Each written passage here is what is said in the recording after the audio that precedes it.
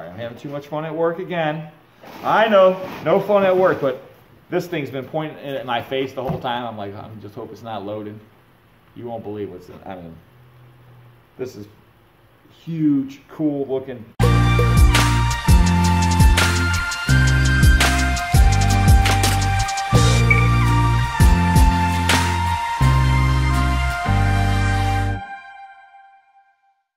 Don't know. There's something in here. It's huge. Oh my gosh.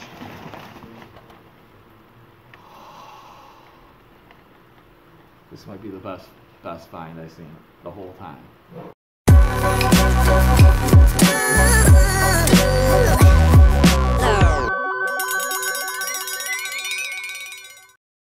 Hey YouTube universe, how we doing today? Robert Zaba, auctioneer extraordinaire with what do they call you, Silent? Silent Shane. Giant Silent Shane, and he does talk, ladies and gentlemen. Man, hope everyone's having a great day. And if you haven't subscribed yet, what are you waiting for? Subscribe. So many great videos, you won't believe it.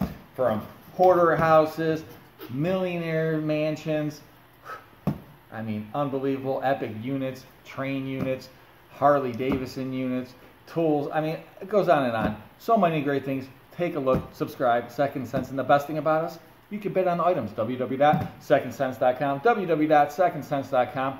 And I can't wait to get through this stuff. Got some great boxes. Let's take a look. Tall or short? Tall. He's going to go with the tall one first silent. Shane makes a decision. I like that. He was quick. He didn't even hesitate, ladies and gentlemen. All right. What do you think we got in here? Oh, yes. Right on top. Look at that. Look at that, Shane. Oh, right there. Coca-Cola. Coca-Cola. I guess I'm just trying to talk too fast. Auctioneer from. All right, what do we now? Now I got Coca-Cola right here. Barbie, that's what I was trying to say. Coca-Cola Barbie now, 59.75. Yeah, 50.75. So look, at it's got a little number on here. Looks like you probably bought this maybe at an auction. So, but look at that. Nice little dial there. Look at the original price. Original price. You see it? What does it say, Shane? 60 bucks. $60 for a Coca-Cola Barbie. Beautiful piece. Awesome, man. I'm getting excited now. Oh, look at this. This thing's giant. wow. Unbelievable. Pioneers of aviation. Lockheed right there. Super Constellation. One 144 scale right there, Corgi. That is a great name in die-cast toys. That is an awesome, awesome plane, ladies and gentlemen. And I gotta imagine it's gotta be at least a $50 bill, but I don't know. We'll have to see. I mean, it's a really nice piece. Man, so excited. What else could be in this box? All right, let's see what else we got in here. What the heck is... oh, look at this dude. Hello. I am the conductor. So it's like some kind of alarm clock, Shane. And uh, I don't know, there's a name on the back. Made in Taiwan. That's a long time ago. So that's a nice piece. 1992. Before I was When you born. Si- Shi- Silent 2003. 2003, ladies and gentlemen. That's right. He's just a young, young kid. He's got a lot to learn, but he's learning a lot at Second Cents. That's for sure. He's learning don't buy junk. This is cool, Shane. This is cool. I don't even know how to get it out though.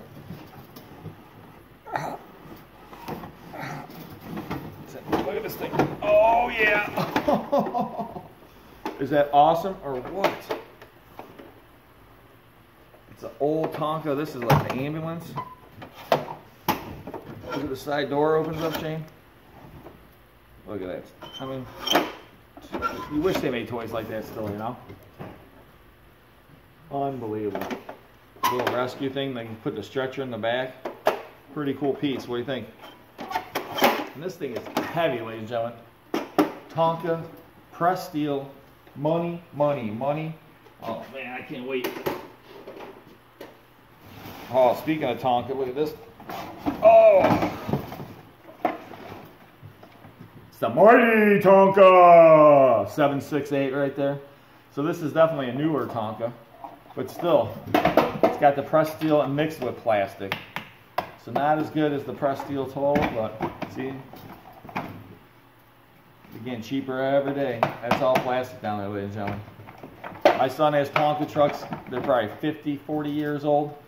He still uses them in the sand, playing with them. They still work. So I don't know if this one will stand the test of time like the old ones, but still great for kids. Do you have any Tonkas when you were a kid, Shane? Yes, had a whole like three set, three three of them. Nice. Had had that one. Did you used to dig in your backyard, Yep. fill it with dirt, dump Yep. it out? Look at this, Shane. You know what this is? It's a car car trailer. That's right. That's an old Tonka car trailer. Let's see this. See that? You push that and that thing drops down. And then you pull it up like this. Way you can put the other cars on there. It's got the ramp. So a lot of times like this piece is missing, this piece is broken off. And the other thing you want to look at when you get vintage toys is the paint. Look at, you know, and this paint is pretty good overall. It's original paint. Sometimes people will paint them, touch them up. See like the rust right back here? But that's the only spot I see really bad. So there's got to be a cab for this. I'm sure hoping, because it's not worth a lot without the cab. It has value, You don't get me wrong. Oh, there it is. Nice. Oh, but look at the cab. It's definitely a lot. Look at that paint. Got melted, peeled. I don't know. It looks like maybe someone tried to repaint it. So that's a damage. But overall, I mean, the windshield's not cracked. These are little things you need to look for. Four wheels. I mean, it sounds simple, but there's all these little things. But this one does have some damage. Someone tried to paint over this part here. Has some wear, rust, but still a good, good toy right there. Press steel toys. Those are getting harder and harder to find. It's just like the toys from the 19, you know, 30s, 40s. They're harder to find. Now these toys are getting harder to find. Soon the toys from the 70s and 80s, they'll get harder and harder to find because what happens is people gobble them up slowly and they get put into collections, and then those whole collections are buried somewhere, hidden somewhere. Who knows?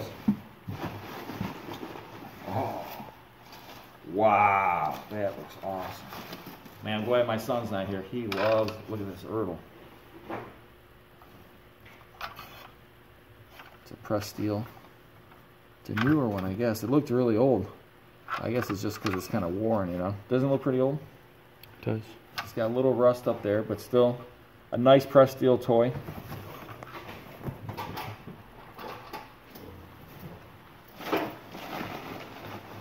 Wow. This thing looks cool. Oh, awesome. Awesome. Look at this thing. It's like one of those uh, boats, you know, the army And then they drive up on the beach. and this it must have had uh, tracks on there, Shane. I bet you they had tracks on it that went around, and then it had these two tires. Oh man, look at that! Made in Japan. This is called Tin Litho. Wow, that's awesome. So this is probably you push it like that and it'll just go, you know. It's called a friction car. So that's a nice, nice amphibious friction army just get some tracks for that thing and go to town, you know. Take it to the beach, to the pool. All right, I'm having too much fun at work again. I know, no fun at work, but this thing's been pointing at my face the whole time. I'm like, I just hope it's not loaded. You won't believe what's in. I mean, this is huge, cool looking toy. Look at this thing. This is what's been pointing at my face. Oh, look at this thing. Oh, awesome? Wow. This is real deal, heavy duty, pressed steel, probably 1940s, early 50s. Right there, what's it say? Electronic cannon. So this is an old Marx toy right here. Wow, it's really heavy. Looks like it had something that went here, probably missiles, I bet. Right here and here, and those missiles probably put inside here, and I bet you launched it like this. Oh, oh there it goes. Oh, see the smoke coming out of there? Just from the dust. Oh, we gotta find something to put in there, Shane. Start shooting. Maybe we can shoot Magic Mike. Think we can make it all the way over there? Put some marbles in there. And look at this. Unbelievable. See right here, they got all this stuff that turns. You've got the little dial right there. And look on the bottom. Oh, turn this way. Oh, it says Nylint Toys. Wow. Look at shoot, stop. Oh man. Unbelievable. What an awesome, awesome find. so cool. I love vintage toys. It takes you back to your childhood and stuff. I mean, I wish I had a toy like this when I was a kid, but probably got in a lot of trouble shooting my twin sister with it. So probably best I didn't have one. But who knows what else we're gonna find? Got a whole nother box. I mean, this box was loaded with awesome, and it came from the same place. Can't wait to see what's in this box. Keep watching. Wow, that last box. Unbelievable. So many great items. I mean, Silent Shane, he's over there playing with the toys. I had to get Magic Mike over here to video. Right, Magic Mike? Right. I'm messing around. Silent Shane's still on the camera. He's not playing with the toys. But maybe later I'll be playing with them. Let's see what we got in this box right here. So excited after that last box.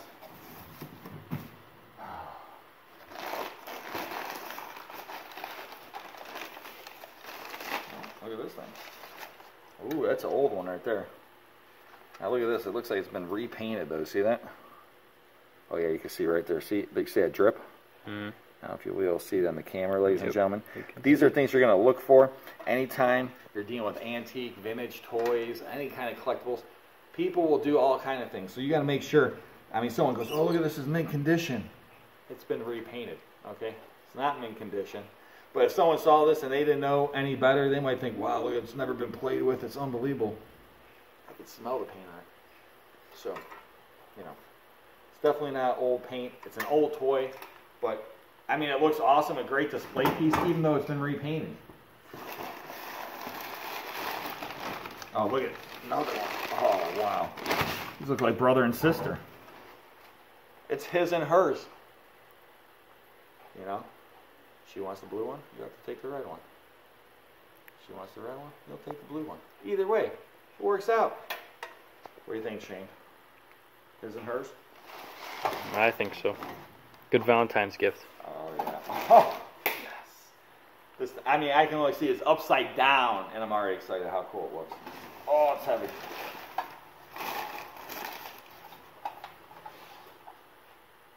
Another military truck. I love these old trucks. See on the wheels it usually will say the name. Right there.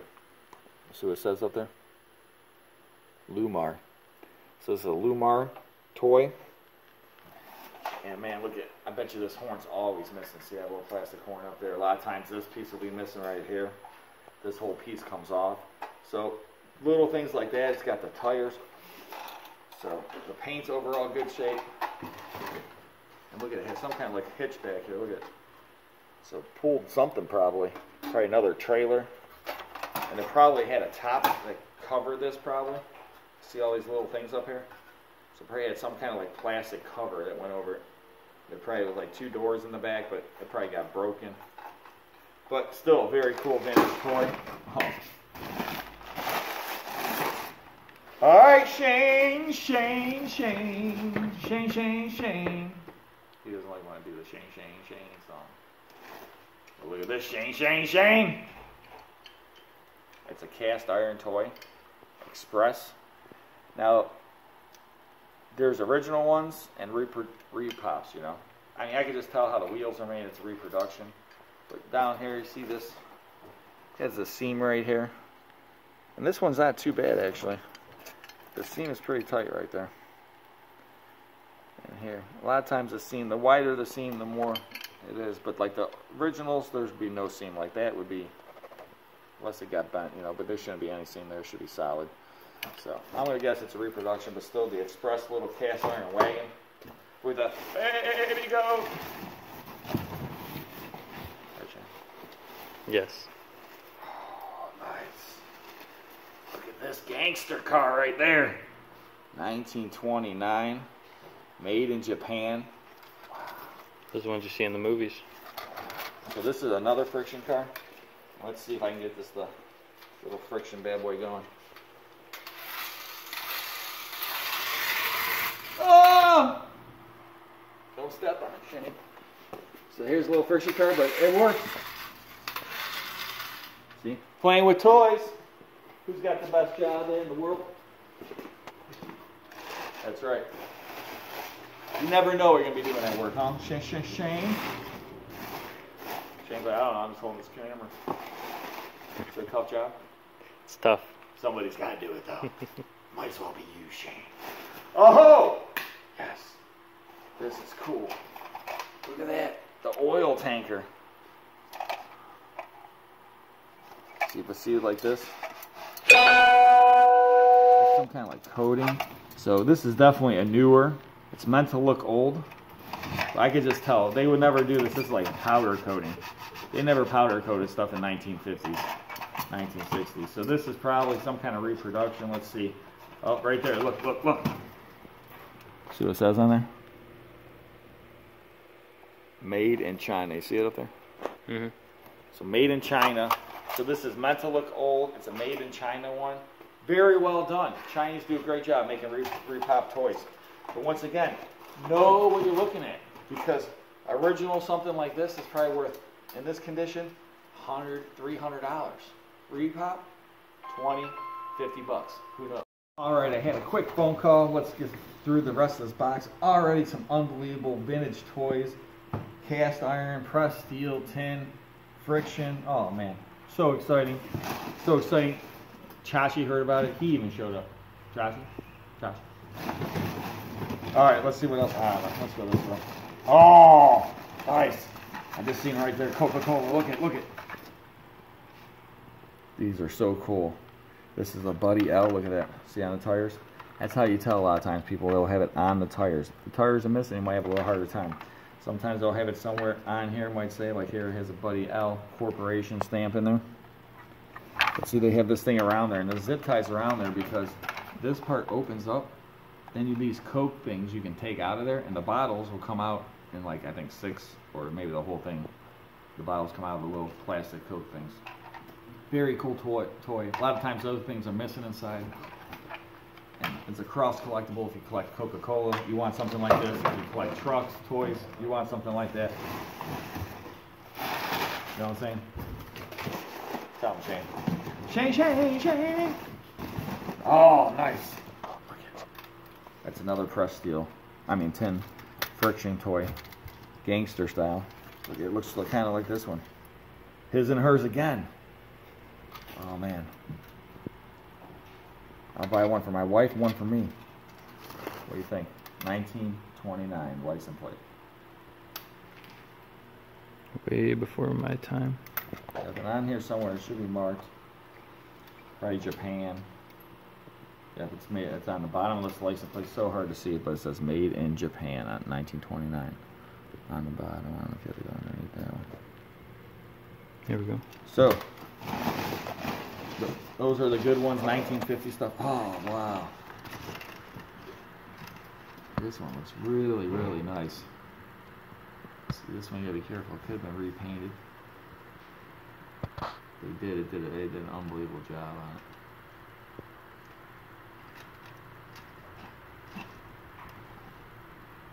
Oh, it's another friction car. Let's see. Coming at you, Shannon. Woo. Go back there. Don't step on. Don't step on.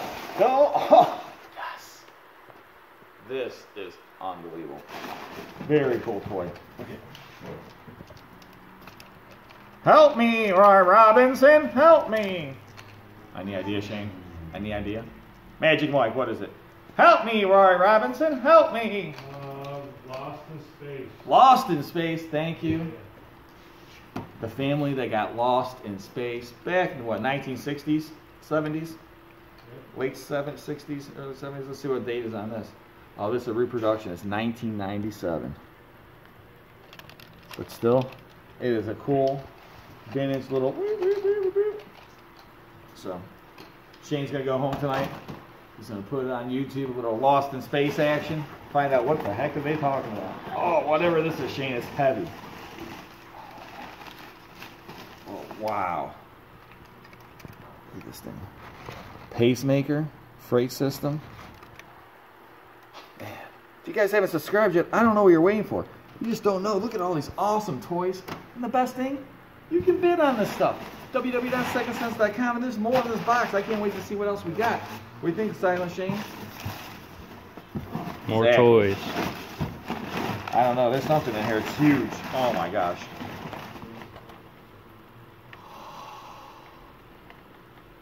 This might be the best best find I've seen the whole time. both those boxes, Shane. This is unbelievable. I've never seen anything like this. You want to see it? Oh my gosh, look at this thing. Look at this. Wow. Is that unbelievable or what? Wow. Look at it. There's the name of the company right there. Highliner. Wow. This is so well made, ladies and gentlemen. I mean, just, I wish you could feel it. Just, it's unbelievable. It's so heavy. This thing will cut right in the ground. You could go flying with this. Made in New Jersey. Hillside, New Jersey, Milwaukee, Wisconsin. It's got Goodyear tires on it. I mean, this is nice, nice piece. Unbelievable condition. Real heavy. This could be two, three, four, five hundred dollar piece. I don't know. I haven't looked it up. The only thing I see right now, I mean, it has some condition issues, of course. It's missing one thing here. I don't know what else it's missing. I'll have to go through.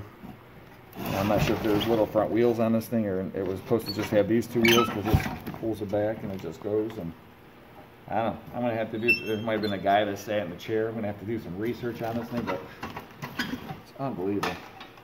So cool. Huge earth mover right there, 1950s.